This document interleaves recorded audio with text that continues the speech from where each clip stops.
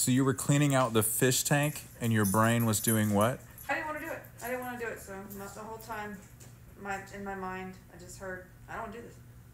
I don't want to do this. We don't want to do this. Why are we doing this? We don't want to do this. You're never gonna get anything else done. You suck. Your life sucks. You're never gonna get anything you love done. No one loves you. this whole thing sucks. We don't want to do this. Why are we doing this?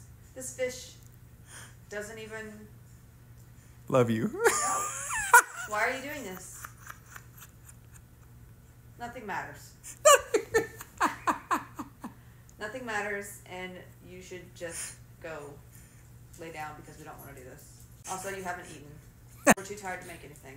How does cleaning the fish tank become an existential crisis? I didn't want to do it, but it had to be done. I had to force myself past the thoughts to do it. And after that, I had no energy to do anything else. It was done. After that was done, I couldn't do anything else. I was done. My brain is smoking.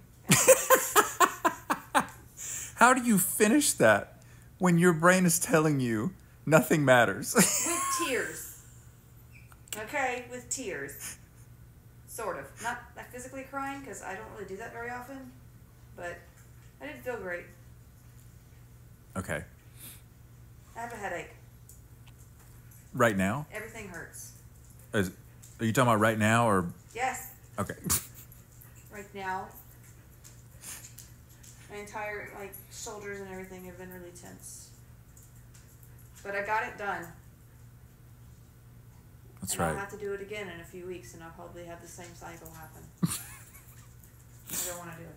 But I don't want it to die either. I don't want the fish to die. It wasn't even my idea to have this fish. she won it at the fair. She won it at the fair. How is that fair to me? How is that fair? Pun intended. I didn't even pay for the game.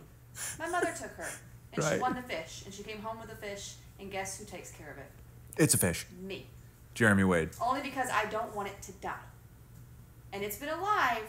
This goldfish has been alive for over three years, It's a goldfish from Rivendell. It has unnaturally long life. and I just don't want it. I don't want. I don't want to be the cause of its death. So I'm trying to keep it clean, even though in my head we hate everything. Okay? Including this fish. I'm trying. I know. Follow us. We're not sure where we're going.